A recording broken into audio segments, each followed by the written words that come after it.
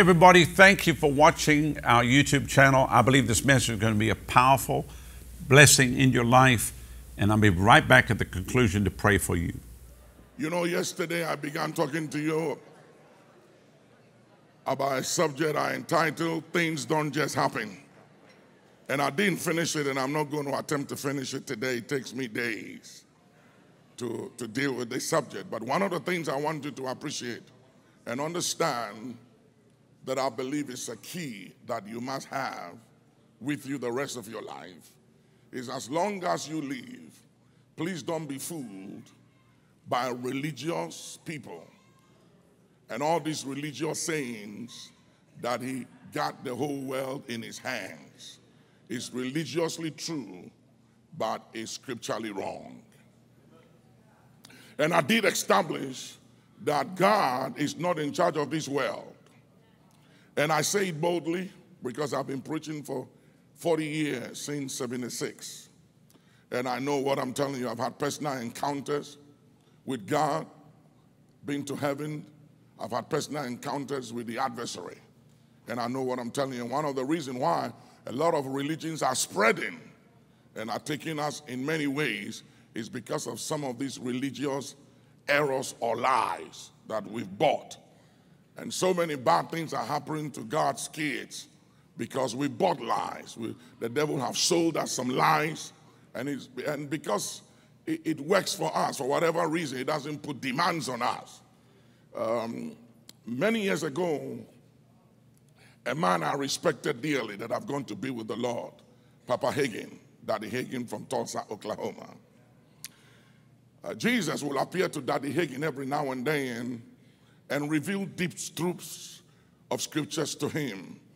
And this particular time, they were talking, Pastor Rod, and Jesus was revealing some deep things to him. And then suddenly, at a point, a demon interrupted the conversation. And Jesus kept talking. He kept talking. And, and he couldn't hear what Jesus was saying. And Jesus won't stop talking. He kept talking. And the demon kept interrupting, interfering with the conversation. And he couldn't hear. And he was expecting Jesus to rebuke the devil or to do something. And he won't rebuke the devil. He won't stop speaking. He won't do anything about it. And after a while, he became frustrated. And he said, In the name of Jesus, get out. And the demon left. So he said to Jesus, He said, Lord, why don't you do something about it? Why don't you rebuke the demon? He said, Because I can't. I can't do it.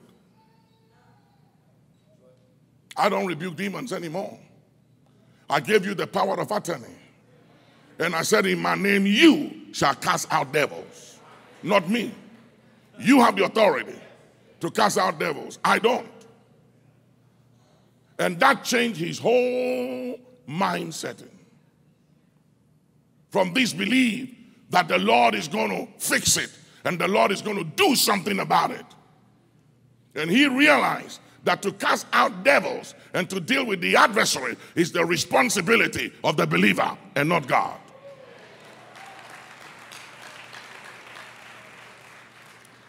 You can look at me with that temper look, and it doesn't really bother me. Hmm? I'm just going to say it as it is. Tell somebody it is what it is. You have the responsibility to deal with the enemy. In the name above every other name, Jesus Christ, the Son of the living God. At the mention of that name, things in heaven and on earth and in the underworld shall bow their knee, and every tongue shall confess that Jesus Christ is Lord. To the glory of God the Father, if you believe it, say amen. Before I download these keys, I want you to come with me to the book of First Thessalonians, the second chapter and the 18th verse. First Thessalonians 2:18. Just want to give you some keys because uh, People don't understand why revival tarries. Tell somebody why revival tarries. Why revival? We need a revival. How many of you believe we need a revival? Revival simply means when God comes to town. That's all. When God comes to town, the devil leaves town. And if you want God to come to town, please understand, like John Wesley of the Methodist Church said, it seems to me that God can do nothing for humanity until somebody prays. Things don't just happen. Don't believe that revival just comes. Revival don't just happen because God promised revival. We have a responsibility. When God makes a promise, you and I have a responsibility to do something about what God promised because of the rules of engagement.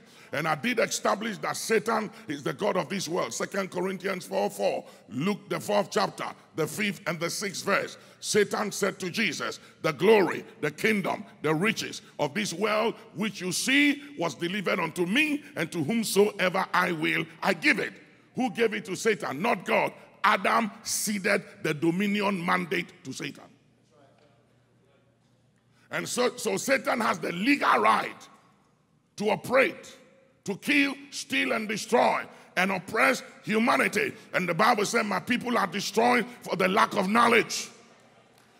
And, and, and let me tell you, the, the advantage of the adversary is to keep you and I ignorant. He knows everything about us. We don't know anything about him. Paul said the other day, he said, We are not ignorant of his devices, lest he gains advantage over us. And one of the devices of the adversary, the accuser, is to keep you and I ignorant. And we can't afford to be ignorant. It's a luxury, we can't afford it.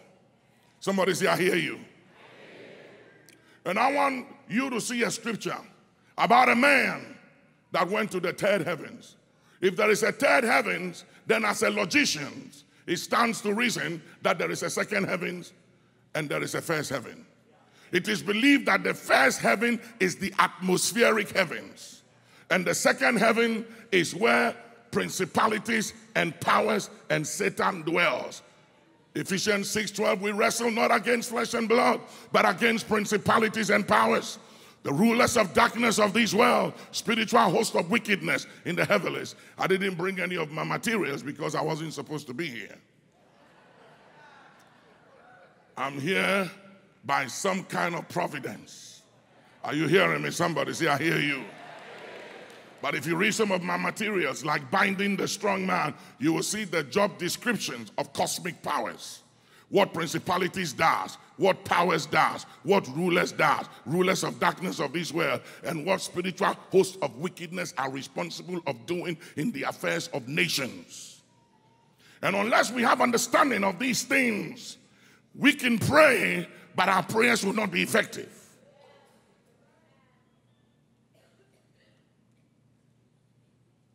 And Paul said, Look at it. Wherefore we would have come unto you, even I, Paul, once and again, but Satan hindered us. This is Paul speaking. Paul the apostle, been to the third heavens, operated in all the powers of the world to come. This guy was no joke. And Paul said to the church in Thessalonica, he said, I would have come unto you once and even again, but Satan resisted me. What we don't understand is that one of the major assignment of Satan, the adversary, is to resist us. Somebody say resistance. Is one of the strategy and one of the assignment of the enemy after the fall of man. He took hold of the dominion mandate God gave to Adam, and his assignment is to resist humanity. So you can be born again and be tongue speaking, and he will still resist, oppose. That is his assignment. His job is to oppose us. And that's why Jesus walked the face of this head with that understanding that there is somebody here whose assignment is to hinder, is to resist, and is to oppose you. I want to show you something. Go to Luke chapter 3. Luke, the 10th chapter, and the 21st verse. Luke 3 21 and 22. I want to show you something. Now, when all the people were baptized, it came to pass that uh-huh. Jesus, also being baptized and praying, Jesus what?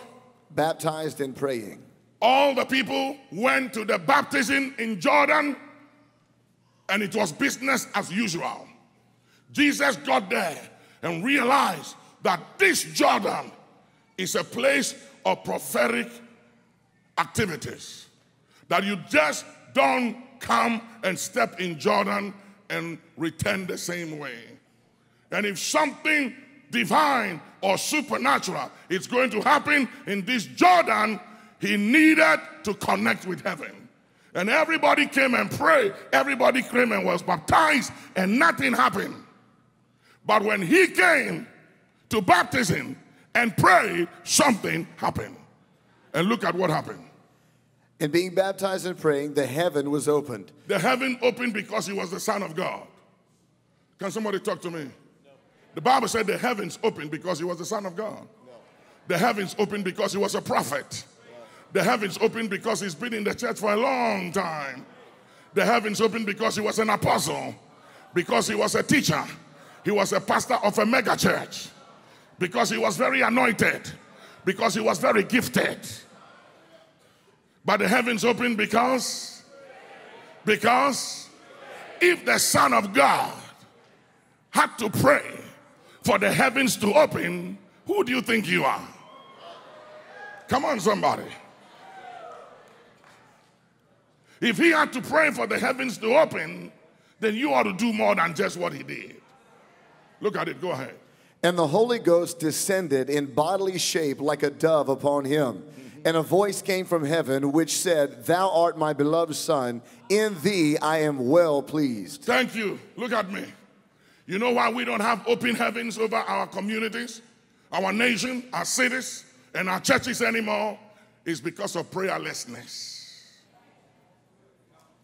There is so much spiritual indulgence in the church that we are having a good time enjoying the move of God, and we have forgotten that the true church is not here, it's out there. Are you hearing me, somebody? That we are here to take charge, we are here to dominate. We are here literally to hijack nations and to hijack communities and to hijack cities. Somebody say, I hear you. We are spiritual hijackers. That is the anointing we carry. And Jesus comes to town and he hijacks the whole place. Everything comes to a standstill. You know, many years ago, there was a man called D.L. Moody, lived in Chicago. He was sitting on a train driving through Rochester, New York, upstate New York. The train stopped at Rochester, New York. He didn't come out of the train. People were coming off the train, and there were people coming on board the train. Suddenly, the anointing fell upon the city, and people were crying and speaking in other tongues and falling under power all over the city. And this young man went to this lady and said, What is this craziness going on all over the place? Have you seen? Have you heard? And he said, It's not craziness. It looks like Brother D.L. Moody is in town. Because that is what happened when he comes to town. What a way to define the man. Is anybody hearing me? That is the way I want to be defined. That when I come to town, there is a shift. When I come to town, things happen. Are you hearing me, somebody? That is the way you ought to be defined. That when you come to town, God comes to town. Say yes.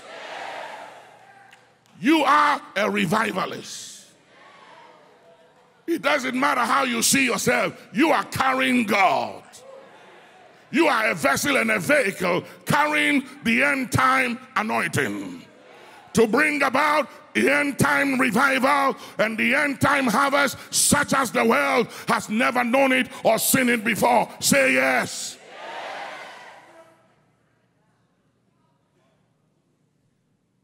Jesus prayed in baptism, and the heavens opened.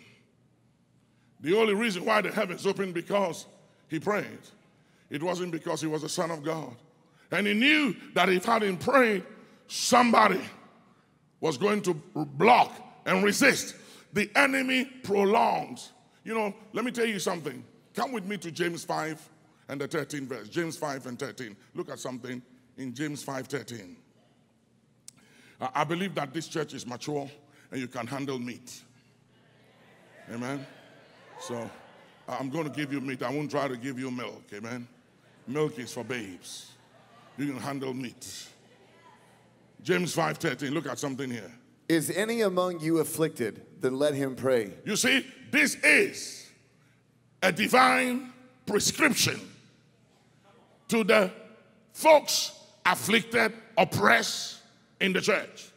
He said, Is anyone among you oppressed, hurt, offended, afflicted, tormented? He said, Don't sing, don't tweet, don't talk about it, don't go on the phone, don't cry, don't complain, don't leave the church, don't tell the whole world about it. He said, Do what? Do what? It means you keep praying till the affliction lifts or breaks off you. You don't stop praying till he lifts. See, I hear you. But when we are afflicted, we do everything but to pray. He didn't say sing. He didn't say cry. He didn't say talk about it. He said do what? Pray. That is a divine prescription for those who hurt among us. Now, when we don't pray, when we are afflicted, you know what it does? It prolongs the affliction.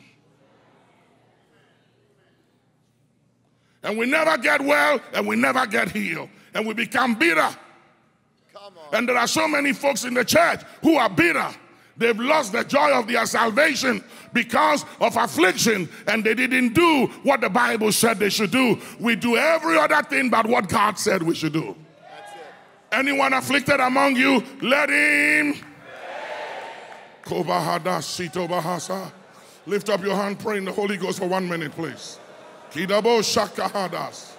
Legadi borodo kati sadahasa. Shelagi dolo gronde kiprosetas. Le carido cosi cadahasis, equidolo grodima, mosico molohosa, ikelo cosadahas, meila kadiba ansida. Open your mouth, bolose, kedekiso, somebody cry out, ikadalabro sende, let the affliction be lifted, ipokadabahasa, le kadiboko lahadahasis, le maradu kandibo kadahada, Wolahaki amandalia. Wandele ambale. Kirabakudiliki balahasa. Hadon, hadon. Thank you. Thank you. You know, I've dealt with so many things, and people ask me all the time, and they say, What is the secret? Sometimes it's like you're down, you're finished, and suddenly you are back again and you are more anointed and dangerous than before. And I've said, I've learned, I've learned to speak in other tongues. I've learned to talk to the Father. I've learned to stay in the throne room. And when you stay in the throne room and you learn the skills of high level intercessory prayer, you can override every adversary. You can override every situation the enemy brings to you. Shout yes. Come with me to Luke, the 18th chapter, reading from the first verse to the 8th verse. Luke, the 18th chapter. Want to give you some keys. You know, I love preaching, and I love to see people excited, screaming, and jumping, and feeling good. I love that. It makes me happy too. But I'm sick and tired of seeing the devil messing with God's kids and they don't know what to do because after the excitement, when the enemy comes at you, you don't need to call on me, on my name. You must have some keys. When he comes at you, you got to know what to do. I remember when I got saved, and my father, my father was a Freemason, and he was a grand wizard for the Freemason. And my dad had a snake in the house we're living in, and he communicates with the snake. And he was an ambassador. He traveled and went to London, and one of my bishops, and now he's been with me for 40 years. And uh, I said to him, I want us to fast for three days and let's kill this snake. And it was just between us. None of our wives, nobody knew about it. And on the second day, my dad called me from London and he said, Son, I said, Dad, he said, uh, that snake, make sure nobody kills it because it's not going to hurt anybody. I said, What did you say? He said, Make sure nobody kills my snake because it's not going to hurt anybody. And I said, Wow. That was a familiar spirit. He knew what we were thinking or what we were planning by a familiar spirit. You see, they also have a word of knowledge. They also have a word of wisdom. Like we have word of knowledge and word of wisdom, they also have it. We have to understand how the enemy works. It seems to me that the church is so ignorant of the workings and the adversary's devices. You can't overcome your opponent if you don't have understanding and knowledge about him. And I told my bishop, I said, you know what? It looks like the old man knows our move, so let's just leave it alone. And one time I was a young preacher, and he said to me, he said, son, come here. And I went, he was huge and very powerful. And he said, follow me. And he took me to one of his properties. And we had these coconut trees standing there. And there were fruits on all the coconut tree except one. And he spoke to the tree and said, I will come back next year. And if there is no fruit on you, I will cut you down. Do you hear me? And he walked off. And I said, Lord God Almighty, my father is gone off. Spirit of insanity has come on the old man. The following year, about the same time, the Holy Spirit reminded me, and I went to check, and there was fruit on the tree. I said, Wow. That was when I started understanding how the other world works. And I started studying about how Joshua spoke to the sun and the moon, and they obeyed. And the Bible said, and the fig tree answered Jesus. Now, if the fig tree answered Jesus, then it stands to reason, logically, ladies and gentlemen, that the fig tree said something. He had Jesus said something. The fig tree answered Jesus. So the fig tree could hear. It can hear because when Jesus commanded the fig tree to die, it died within 24 hours. It complied. That means they have ears to hear. The sea has ears, they hear. The wind can hear. The earth can hear. The Bible said, Thus says the Lord, render this man on this earth childless. Make his family childless. And let them not prosper on the earth. So the earth can hear. Moses spoke to the earth, and the earth opened up his mouth and swallowed up the sons of Korah. Jesus spoke to the fig tree, to the sea, to the wind, and they comply. The church is still in baby stage Christianity. Some of you are looking at me strangely. Pastor Rodney, where did you bring this guy from? I'm part of you, I'm your brother. I'm just at the backside of the desert.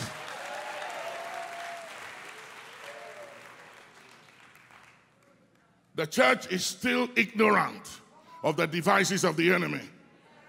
Luke, the 18th chapter, 1 to 8. Look at something here. And he spake a parable unto them to this end, that men ought always to pray and not to faint. Men what? Men what? Men what? Ought to pray. Not when we come to church. Not breakfast, lunch, or dinner time.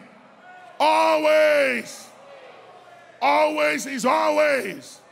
Why always? Because your adversary is as a roaring lion, seeking whom he might devour. Because his assignment is to resist you and to resist the manifestation of your prophecy. He don't want to see the manifestation of what God has said about you. So he puts up a fight. And it's time for the church to fight back. Tell somebody, fight back. I preached a message last year and entitled the message, It's Time to Say Something. You've been quiet for too long. And the enemy keeps speaking against you, and you ain't saying nothing. It's time to open your mouth and say something. Until God said, Let there be light, there was nothing. Until you open your mouth and say something, nothing is going to happen. Tell somebody it's time to say something. Tell somebody, say something.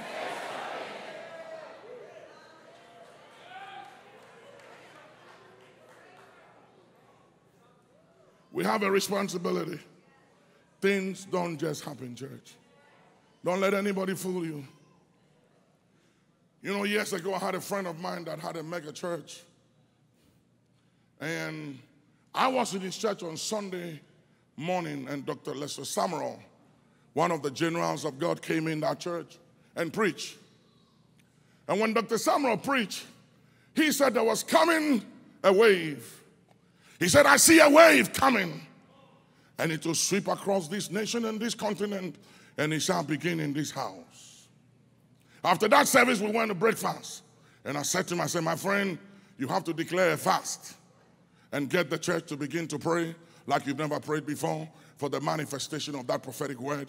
And he said, Why do I have to do that? And I said, Because God just revealed his original intent for your house, for this house, and for the nations through your house. And I said, Satan is going to come after you. You know what he told me? He said, If God said it, I believe it, that settles it. And he takes care of his business. And I said, Brother, it doesn't work that way. I told him, I said, It doesn't work that way. From that day, the devil striked, strike his family, killed, attacked, cancers, scattered the church, divided the leadership, destroyed everything. He's out of the ministry now. And the prophecy came to pass, but he wasn't part of it. Because he refused to understand the rules of engagement. That the devil doesn't know God's plan about your life until that says the Lord. When the prophecy is revealed, you remember when the wise men came to Herod. These wise men were not Christians, they were astrologers, they weren't believers. The wise men were not Christians, they were in believers. They operated by familiar spirits. And they saw the star of the Son of God and understood what it stood for and what it meant. And when they told Pharaoh, they told Herod about the star, and the prophets revealed the prophecy. And this was the prophecy Thou, O Bethlehem of Judea, art thou not the least among all the cities of Judea? And yet out of thee shall come the ruler of my people. When he heard that word, ruler of my people, he was threatened, and a decree went forth to annihilate all children under the ages of two. Why? They wanted to kill the deliverer. They wanted the life of Jesus. And so many kids died. And the only way Jesus escaped was because he had a praying father who had a dream. And the angel of the Lord said unto him, Take the little child and run and hide him in Egypt.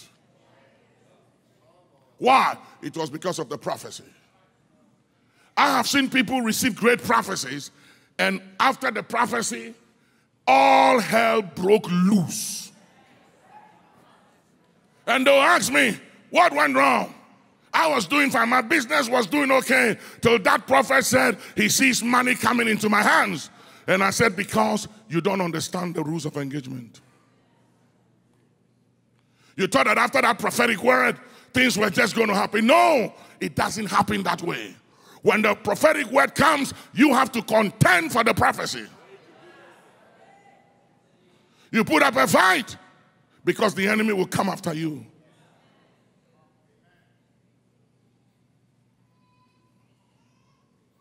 You can look at me any way you want to look at me. You know something? I don't live in America, I live in Ghana. And after, after here, I'm gone. You need a visa to find me where I am. And I have a lot of angels around me. You can't reach me. So don't worry about it. See, I hear you. I have seen so many good people killed of God, destroyed. I've seen preachers. I have a lot of great friends of mine who have been killed, destroyed with scandals. The enemy come and steal, kill, and destroy because they took for granted the rules of engagement. They believed things that were not true. I had a preacher friend of mine that died recently. I was in his church in Atlanta just about two years ago with Pastor Paula and spoke to him about some situations and told him what he needs to do. And Pastor Paula asked me and said, What do you think? And I said, He's not going to do it. He won't do it. He won't do it. He's too secure financially. He's too secure. He has too much working for him. And I said, He can't humble himself and come down to the level that he must come to to get God back into his life. He won't do it. He's too secure.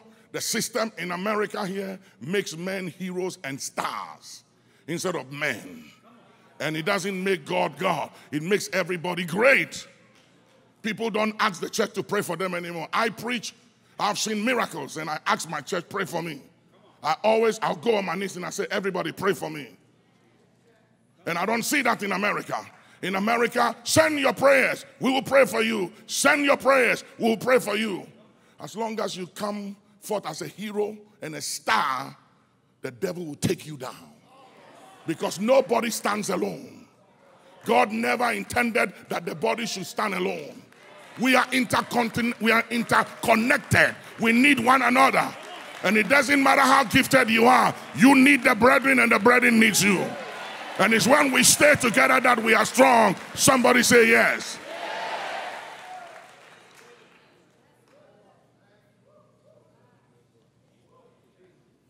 We underestimate who we are dealing with.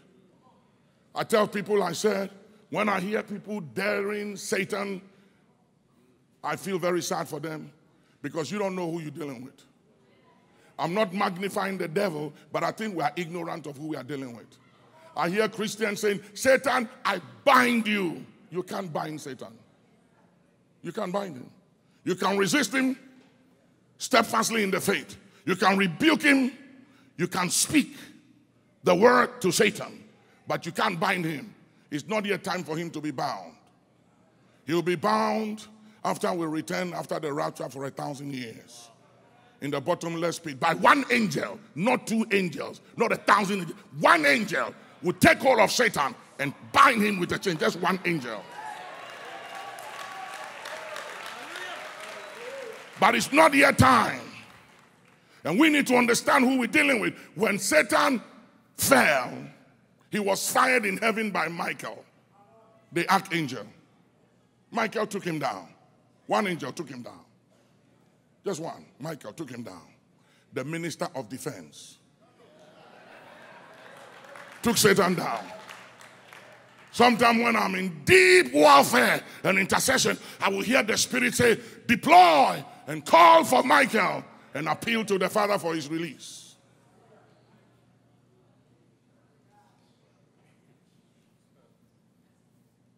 One angel took him down.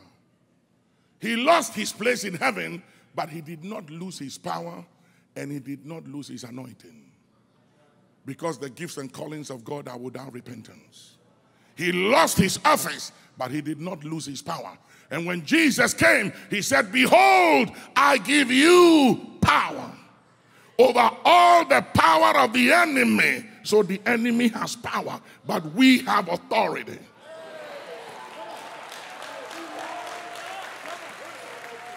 He has power, but he doesn't have authority because authority is designated. You can't have authority if you haven't been under authority. The centurion said, I am a man under authority. And I said to one, Go, and it is done. And another, Come, and it is done. Why? Because I am under authority. So authority is designated. You can't have authority if you are a rebel.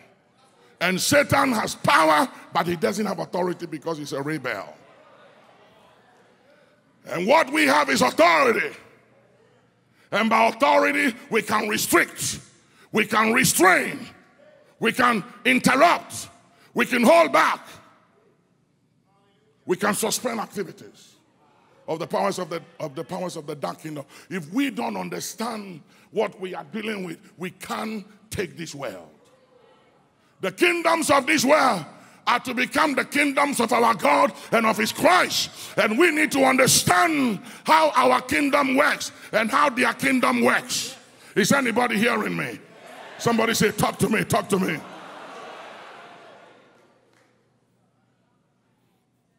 You don't look at me any way you want to look at me. I'm just telling you as it is. I'm just sick and tired seeing the devil messing with the church. And every time when I went back to Ghana from America, people were dying. There was a funeral every week. And I stood there one Sunday morning and I said, I suspend funerals in this house until further notice. And I said, in the name of Jesus, henceforth nobody dies unless over 70, 80, 90 going. And I don't do funerals. I was not called to do funerals. I wasn't called to bury. I was called to raise the dead. And you can look at me any way you want to look at me. And from that time, from that time, funerals in the church ceased. And we bury people over 70, 80, 90 going. And the only services I attend is that of the old folks. And I just did that to make a statement that if you are young, stay alive, don't die. Refuse to die. Somebody say, I refuse to die prematurely.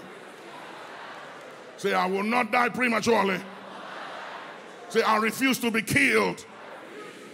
Say, I will not die before my time by any means. Say, I will not be a victim. I will not be a casualty of any devices of the enemy. In the name of Jesus, I shall not die but I shall live and declare the works of God. If you believe it, shout yes.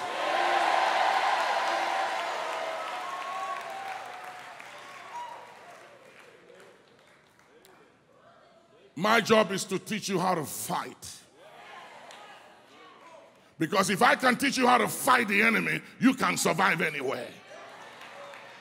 All the folks who have sat under me, it doesn't matter where they go in this world. When they pray, you will know where they are coming from. I don't pray nice prayers. I'm very objective and I'm straight to the point, and I don't miss my target. When I hit you, I hit you hard. I hit you with intercontinental ballistic missiles, blow you out of place. In the name of Jesus, say yes. I don't do all these nice prayers. You know why? Because where I come from, the devil don't miss his target. He's very deliberate. And I, I started fighting in my mother's womb. When she took seed of me, they performed a D&C and aborted my twin, and I was still hiding there. And I lost three of my fingers when Satan attacked me and came into my bedroom and compelled me to put my hand in fire. I know how the enemy works. So you can sit down there and look at me with that beautiful face of the United States of America because you don't know how the enemy works. You haven't experienced the cruelty of the enemy. But I'm telling you, this enemy is real. And I'm not frightening you, but you got to understand what you're dealing with. That one of his assignment is to resist you and is to oppose you and make sure that you never fulfill your assignment on earth. And that is what he did to Jesus. He came after him until the man left his earth. Satan was on his case. And he never stopped praying till he left the earth. He never stopped because he understood that it is only in the place of prayer that we can override the enemy and superimpose God's counsel and enforce the will of God over the enemy. Heaven, hear me, look at me. I want to say some very hard things, and you may not like me, but you know something? I really don't want to be liked anymore. I don't, I, I don't want, I don't want to be liked by anybody. I don't want to be understood. And I, I, said to a friend of mine, I said, he wanted me to come preach for him. And I said, if I'll preach for you, declare three days fasting before I come. And I said, if you can't declare three days fasting, I won't come. And he said, we have a great church. And I said, I don't care about your church. I said, I don't need any relevance. I'm already relevant. I don't need to preach in your church to be anything. I'm already who I am by the grace of God. And I said, I said to him, I said, you know why you have to fast and pray? Your church is too dry spiritually. And if you don't pray to deal with the demons, when I come, I'm going to spend all my time casting out devils. Mm. Because the demon love dry places. Mm. And I said, your church is too dry for me.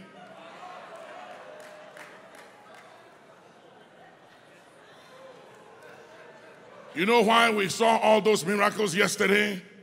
Because the atmosphere in this church is conducive for the move of God. I'm just telling you. When we were going, I was telling them, I said, Pastor Rodney has done a good job. I've been to mega churches in America. I preach in mega churches. From Bishop T.D. Jakes' church, I dedicated the Potter's House to Kirby, uh, Kirbyjon jo, uh, uh, Church in Houston, Texas. 30,000 people, Methodist Church, the biggest Methodist church in America. I preach in mega churches. You got a good atmosphere here. Don't lose it.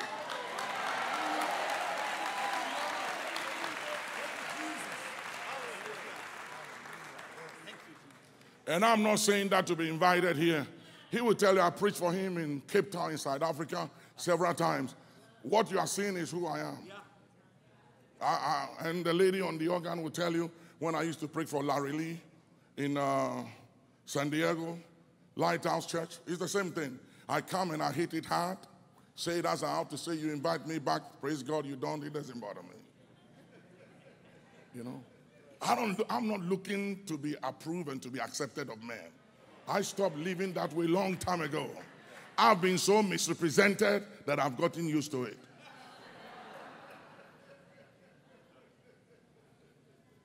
Say, I hear you. Finish your reading. Saying that there was a, in a city a judge which feared not God, uh-huh. neither regarded man. And there was a widow in that city, and she came unto him, saying, Avenge me of my adversary. And he would not for a while, but afterwards he said within himself, Though I fear not God, nor regard man, yet because this widow troubleth me, I will avenge her, lest by her continual coming she weary me. You see what she said? Lest by, talk her to me, lest by her continual coming. Lest by her continual coming. Somebody says persistence, persistence. breaks, breaks. resistance. resistance. That is the key.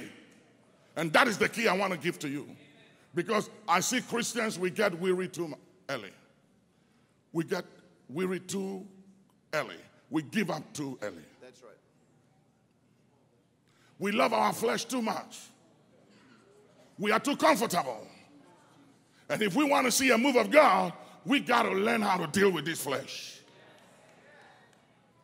And this woman was so persistent that the judge said, I don't fear God, I have no regard for man. But this woman, she's too much trouble for me. Let me tell you something. You can weary the devil. Do you know that? Yeah, you can weary the devil. You can weary demons. You can so hit them that they will get tired of you.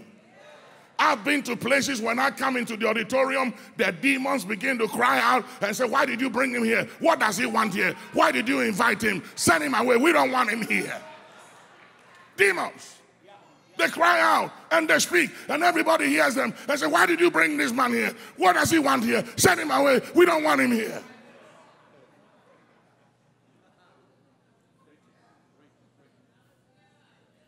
Tell somebody that is what I'm talking about.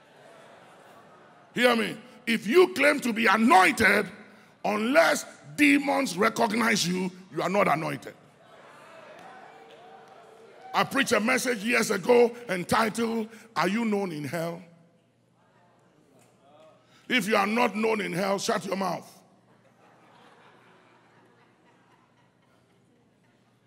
The demon said, Jesus we know, Paul we know, but who are you? Turn to someone and say, Who are you?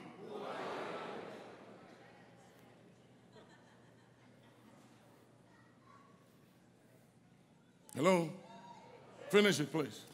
And the Lord said, Hear what the unjust judge saith. Uh-huh. And shall not God avenge his own elect, which cry day and night unto him? Cry, Day, cry, day cry, cry, Day and night. cry. Persistence. Persistence.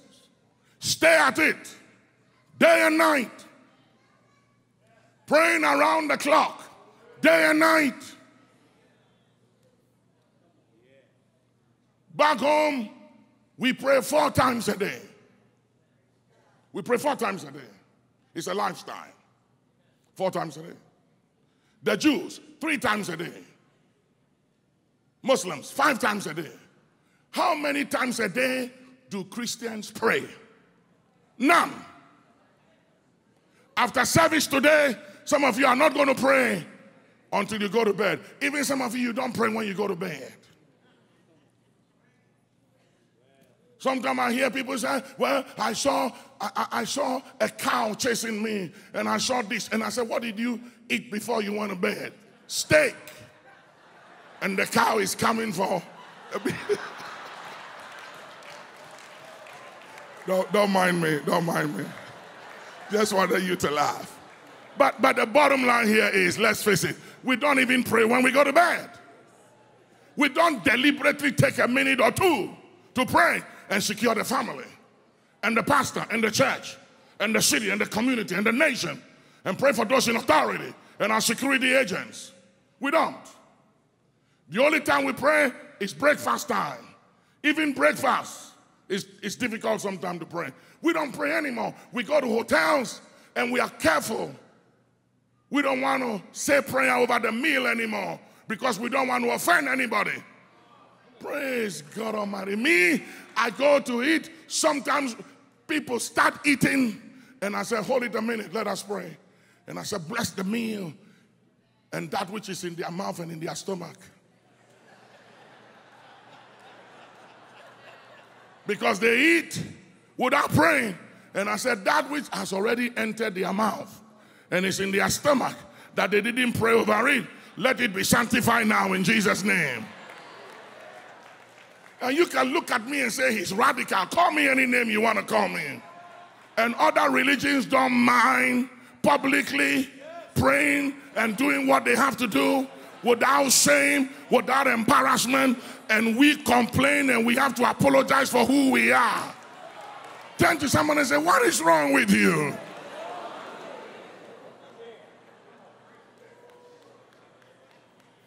I don't apologize for who I am. I am what I am by the grace of God. Say yes. Look at what Jesus said. And the Lord said, Hear what the. End oh, sorry, I read that already. He said, I tell you that he will avenge them speedily. He will avenge them what? Speedily. He will avenge them what? Speedily. If we cry unto him what day and night, he will avenge us what? Speedily. Say immediately, immediately, immediately. Somebody say immediately. You saw the scriptures we read yesterday in Acts, the 16th chapter, from the 25th to the 27th verse, the Bible said, and when they prayed and they sang praises, immediately there was a suddenly. Somebody say a suddenly. See immediately. We don't see immediately anymore. We don't see a suddenly anymore. We're always talking about what God did in the days of Papa Hagin and in the days of my grandfather in the faith, T.L. Osborn, and in the days of Oral Roberts. I, have been with all these people. I've been with Dr. Osborn. He's my, he's my grandfather in the faith. When I went to heaven, they showed me the city of T.L. Osborn. And I went to Tulsa. My kids were in school in Tulsa. I went to Tulsa, and on my way going back to Maryland, the Spirit said, change your flight. I was going through Houston, and the Spirit said, Go through Chicago. So I called my daughter. I said, Change my ticket. She said, To what? I said, Ride me through Chicago. She said, No. Houston is better. I said, Just take me through Chicago. And said, Why are you doing that? I said, I don't know, but just do it. And they know me, I can be weird sometimes. You know, the Holy Spirit don't need to act, don't need to, God does not need to explain himself. All these things where we have to, God, you have to explain to me. Tell me why. God doesn't have time to explain himself. Just obey. And I got to Chicago. My flight was delayed for two hours. And I said, Well, here we go. I didn't say anything. So I was standing there and I said, Let me go have coffee. So I went to the Starbucks. I was in the line for coffee. And the Spirit said, Lift up your eyes and see. And when I lifted up my eyes, T.L. Osborn was sitting back there having coffee. And the Lord said, Go sit by him and talk to him. So I walked to and said, Grandpa. He said, Nicholas, what are you doing here? And I said, I came to see you. He said, How did you know I was going to be here? I said, God told me to come through Chicago. He said, Sit down. And I said, Grandpa, I saw your city in heaven. Beautiful city. Not a house, not a mansion, a city. And the elder said to me, This is T.L. Osborn City. And I said, That is my grandfather in the faith.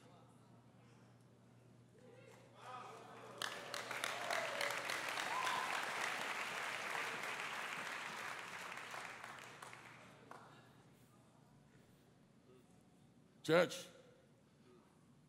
I don't know about you, but I'm just sick and tired of church as usual.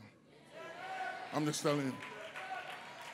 When I read about all these things God did, and He's the same God and He's the same Holy Ghost. The Bible said Jesus Christ yesterday, He's the same yesterday, He's the same today, He's the same tomorrow. How come God is not doing things He did yesterday? Today is because this generation We have, we have become an instant generation. I thank God the way you run your services in this house. Everything is instant, instant preaching, instant praise, instant worship, instant everything. God, you got to do it on my time. God is not going to do it on your time.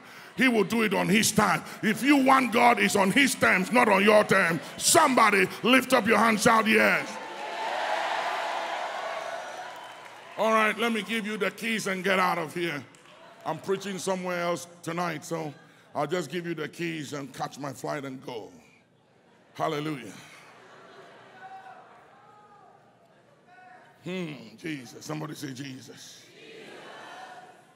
Come with me to Daniel, the 10th chapter, the 12th and the 13th verse. Daniel, the 10th chapter, the 12th and the 13th verse.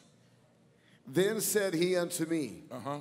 Fear not, Daniel, mm-hmm. for from the first day that thou didst set thine heart to understand mm-hmm. and to chasten thyself before thy God, mm-hmm. thy words were heard, and I am come for thy words.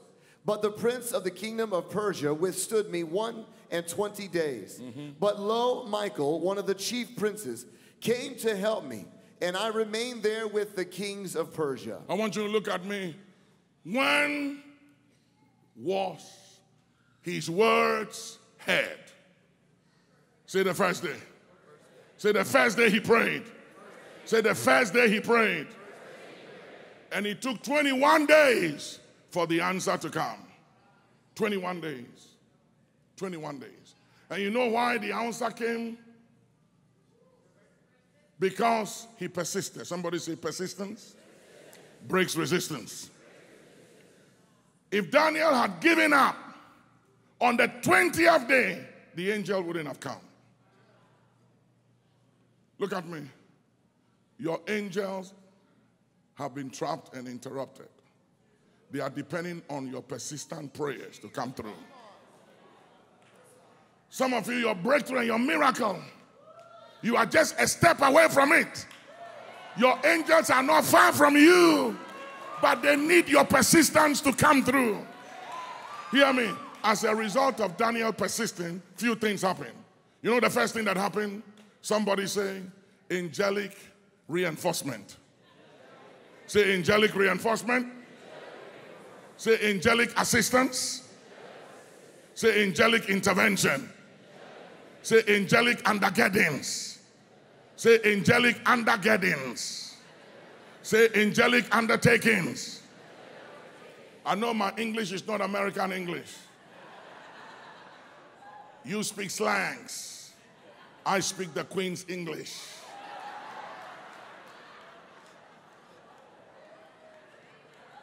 My kids are Americans, they all speak slangs. I don't I speak the Queen's English. Somebody say, I hear you. Hear me. From the first day Daniel prayed, his prayers were answered. It took 21 days of persistence for the angel to come through. An angel was resisted by demonic powers. Do you know how many of you sitting here are ready for a miracle? But for whatever reason, you have given up. You've given up.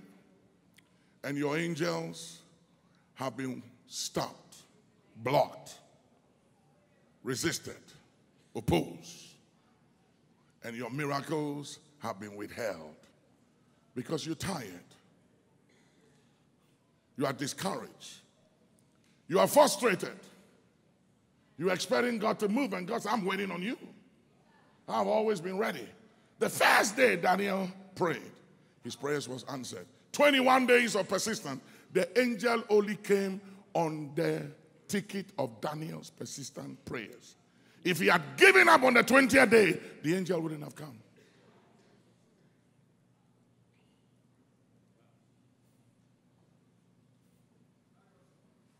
Church, I know what I'm telling you because anytime I get discouraged, I've been discouraged so many times about so many things.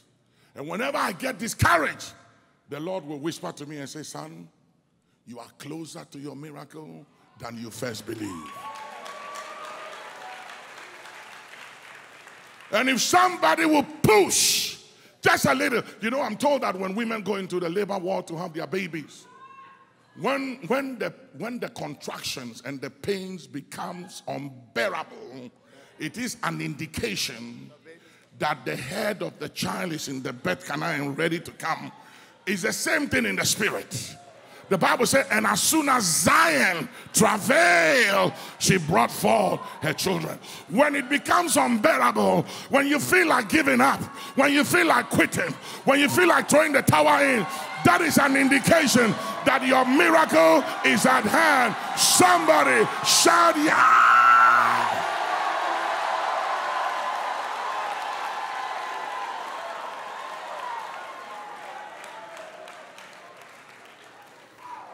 Please sit down for a minute.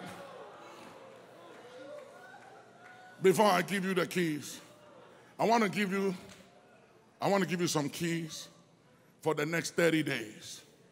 Say the next 30 days. Of something you must do in the next 30 days and get ready for testimonies in the next 30 days. You're going to be holding services for testimonies in the next 30 days. I know what I'm telling you. These are practical things. They work. Go to Isaiah 62, please. Isaiah 62. From, read from verse 1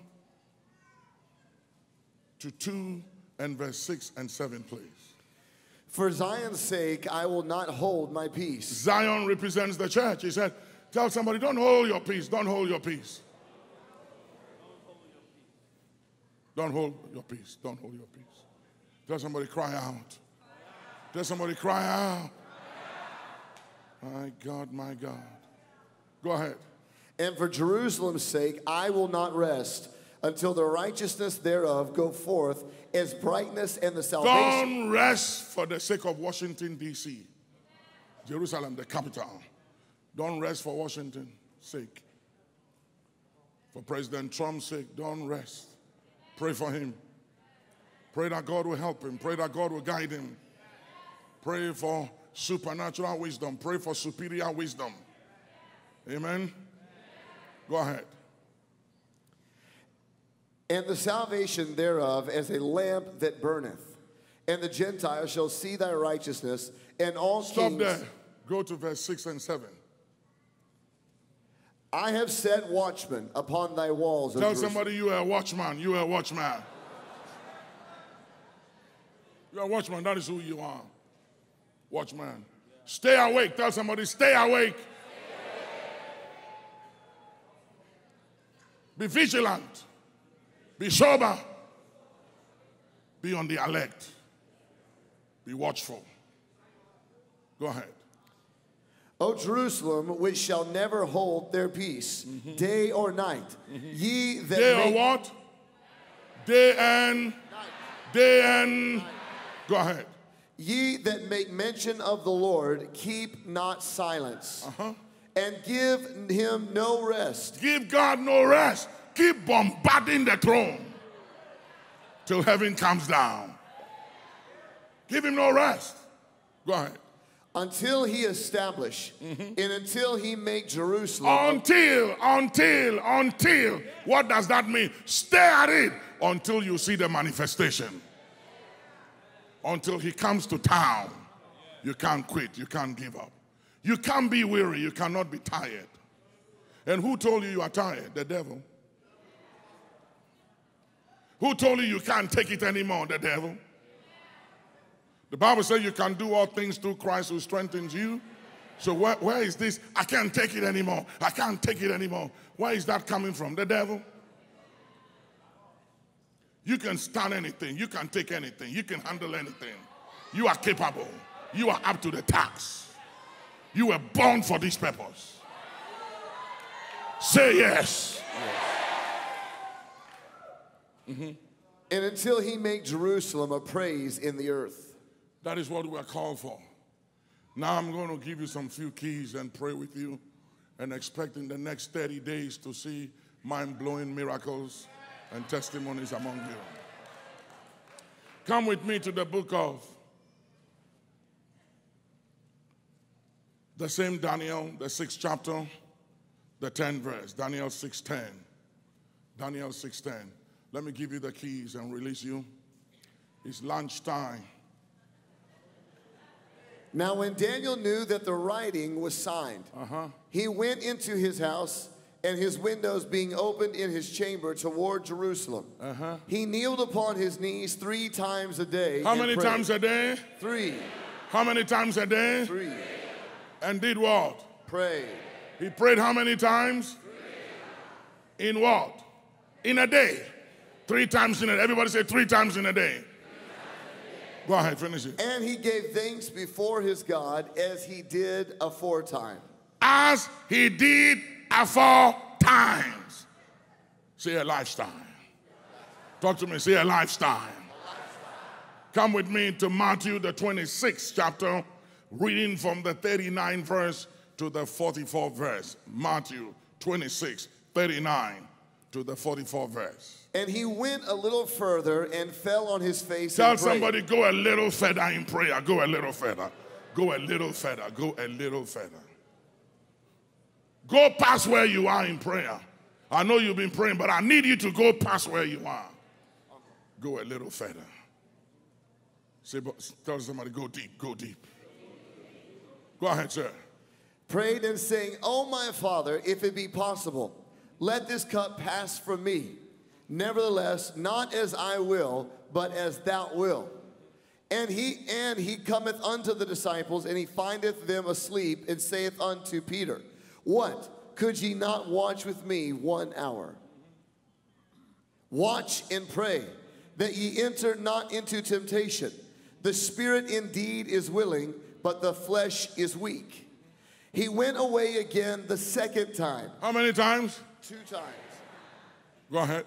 and prayed, saying, O my Father, if this cup may not pass away from me, except I drink it, thy will be done. Mm-hmm. And he came and found them asleep again, mm-hmm. for their eyes were heavy. Mm-hmm. And he left them and he went away again and prayed a third time, saying the same words. The third time saying what? Same words. Saying what? Three times. Three times. Persistence, break resistance. And this was Jesus. The word made flesh, prayed three times. And yet we have faith teachers who tell you, well, you don't have to pray the same thing more than once.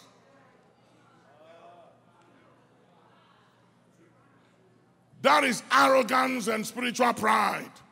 Jesus prayed the same thing. How many times?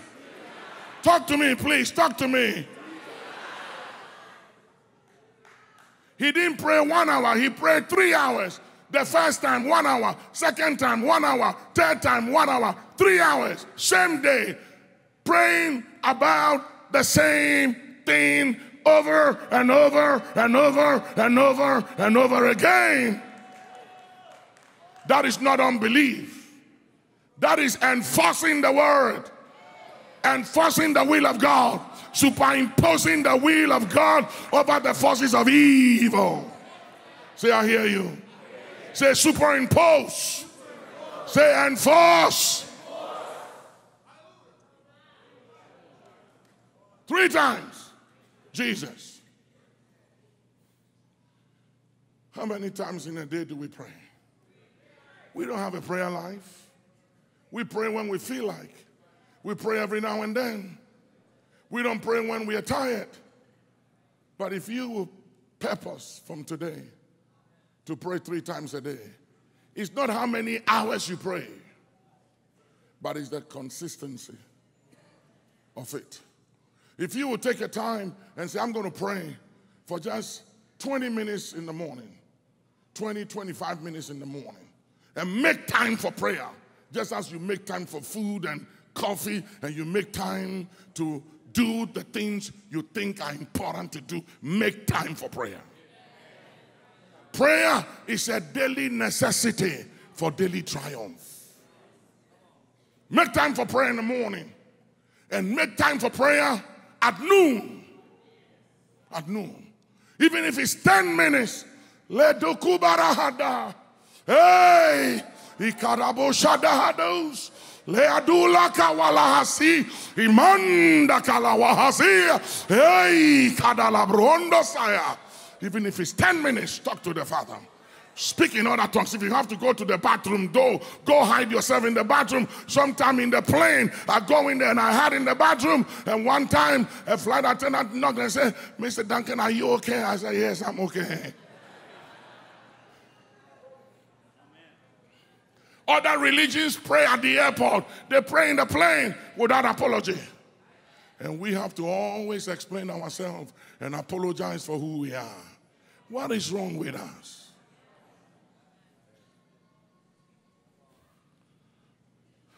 You can do three times a day or four times a day. When you're coming home from work, pray in other tongues. You know, years ago I was praying in tongues when I got saved, and my father called me one day and said, I want you to stop praying in that language. And I said, Why? He said, When you speak that language, you drive my spirits away. My father. And when he said that, I said, Wow, this thing is powerful. I'm going to pray some more.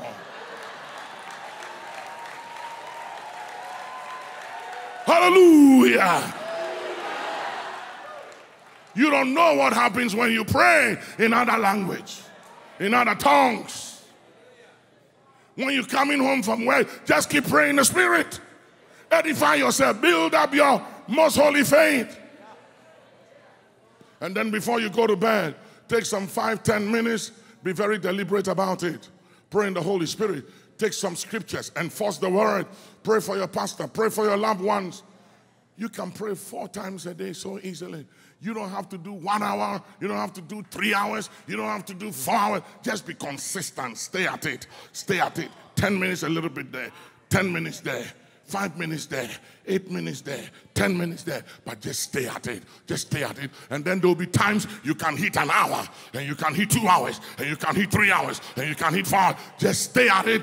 Just stay at it. Just stay at it. Just stay at it.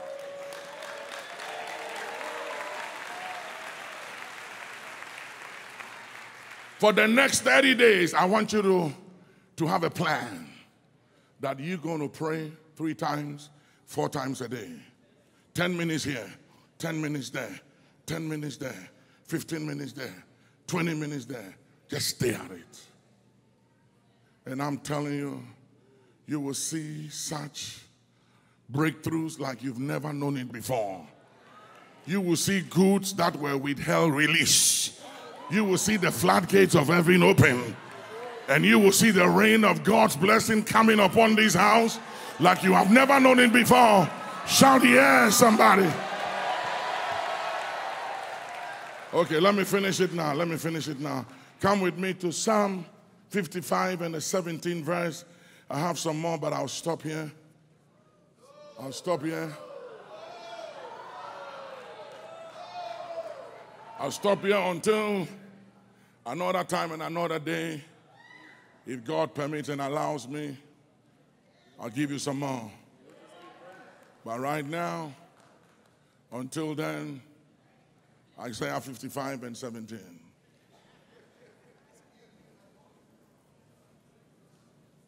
Somebody say? Psalm or Isaiah? Oh, Psalm, Psalm, Psalms. sorry. Psalm 55 and 17. Lift up your right hand and say, I shall not die but I shall live and declare the works of God in the land of the living. Say, I refuse to be killed. I refuse to die by any mischief, by the hand of the enemy, by the devices of the enemy. I refuse to be killed. I will not die, but I will live and declare the works of God in the land of the living. You believe it? Shout somebody. Yes. yes. Shout yes. Psalm 55 and the 17th verse. Evening and morning and at noon I will pray and cry aloud, and he shall hear my voice. He shall what? Hear my voice. If I do what? Pray. What? Pray. He shall, if I, how many times? When and when and when? How many times? Can you please covenant with God that in the next 30 days of your life, you are going to be very deliberate at this? That you are going to pray three times a day. And be very deliberate at it. Make time for it. Focus. Don't be distracted. The next 30 days. Three times a day. And do it religiously. And hear me. You will see mind blowing miracles. I'm telling you. And if the devil sends a demon to attack you and your family, the demon will tell the devil, please send me somewhere else. Not that family, not that man, not that woman. They are too consistent. Say yes. Stand on your feet, shout, scream, put your hands together, give God some praise.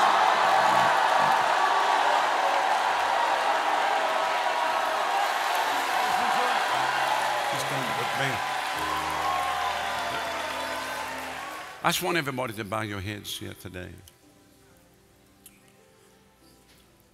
Everything starts with people surrendering their life to Jesus.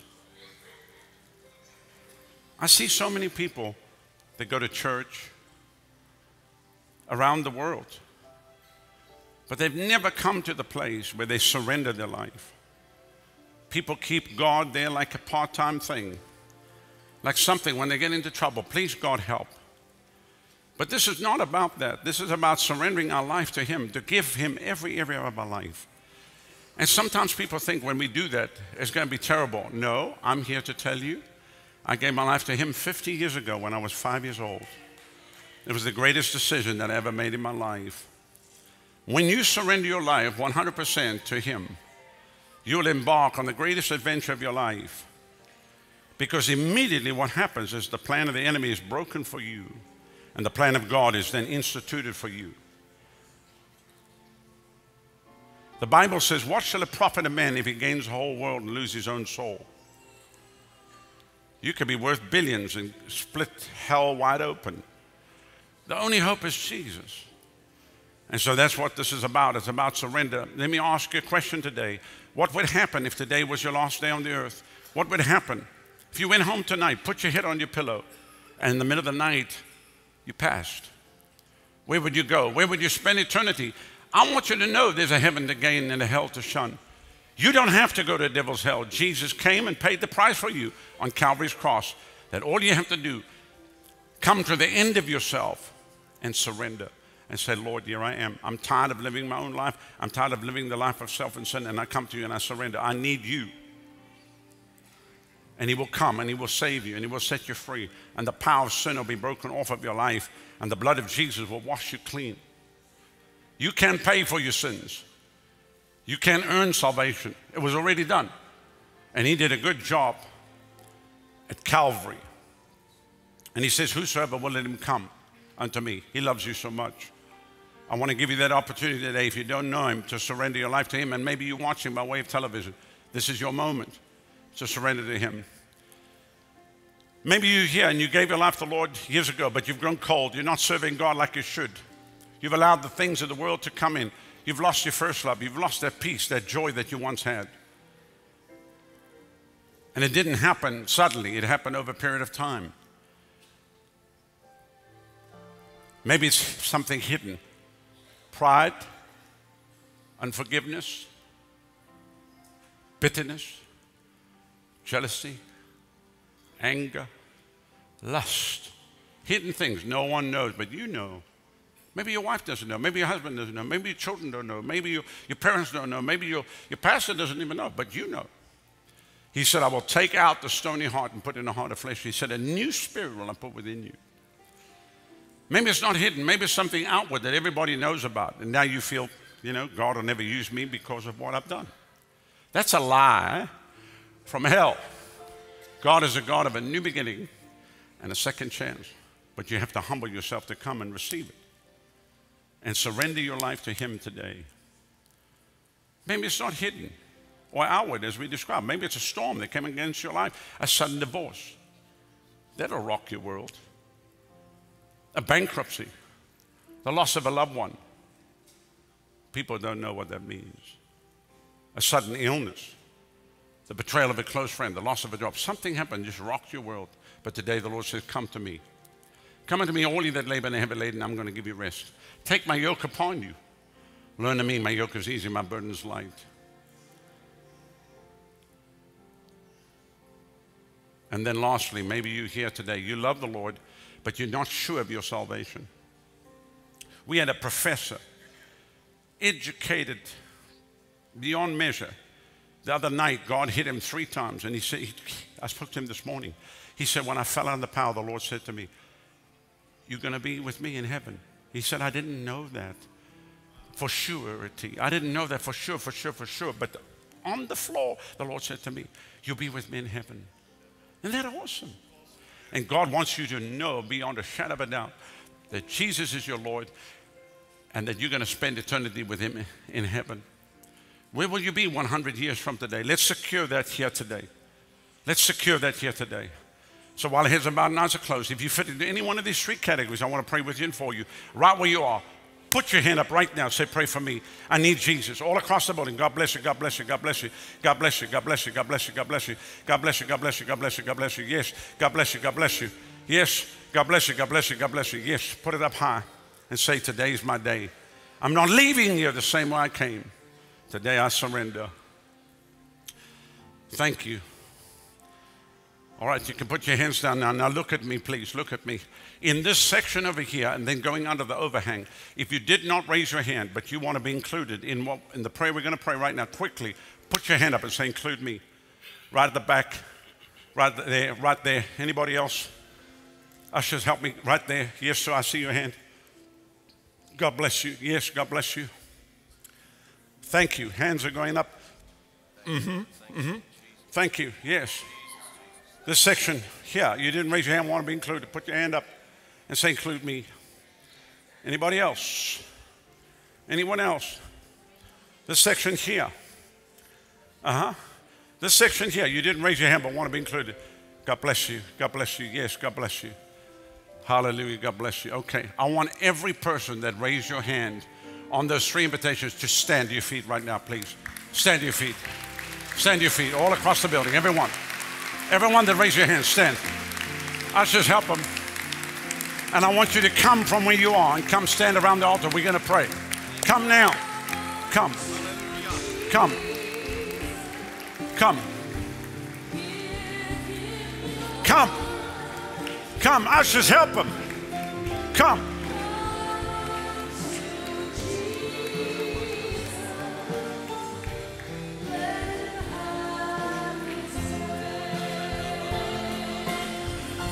Come now.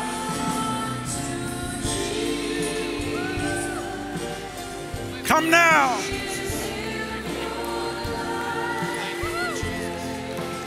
He calls you. He calls you.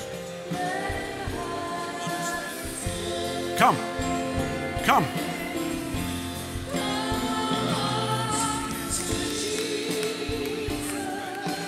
Give him your life today.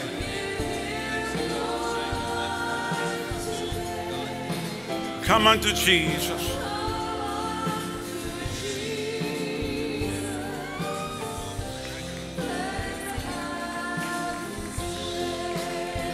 Come unto Jesus.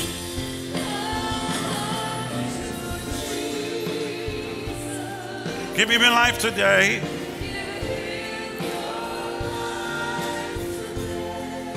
Come unto Jesus. Let him have his way. Listen, I'm so happy we can have a bigger altar. Because we've had days when you can't even move here and then right up the aisles. You should have been here when 1,800 people come to the altar. It's like a crusade in a foreign country. So we're going to have a bigger altar now. We can fit more souls. Then the Lord is going to give us 40 brand new buses that will run all over the city to bring the people. And I'm going to run the city of Tampa through this place. We're going to, Tampa's going to be saved. Can you say that? Hallelujah.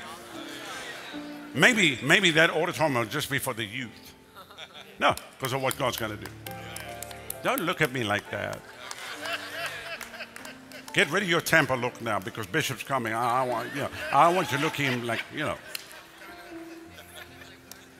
What if God gives us such a great breakthrough? 100,000 people are saved and people are plugged in. Then where are you going to put the people? So then that'll have to be the youth. Or maybe the children. The youth will need something to see 10,000. I mean, there's how many people in USF? 30,000? What if 10% of, what if, what if 50% of them get saved?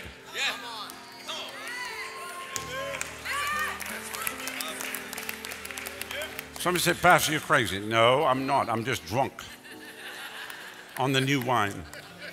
And if the only way you can come with me, you have to drink too.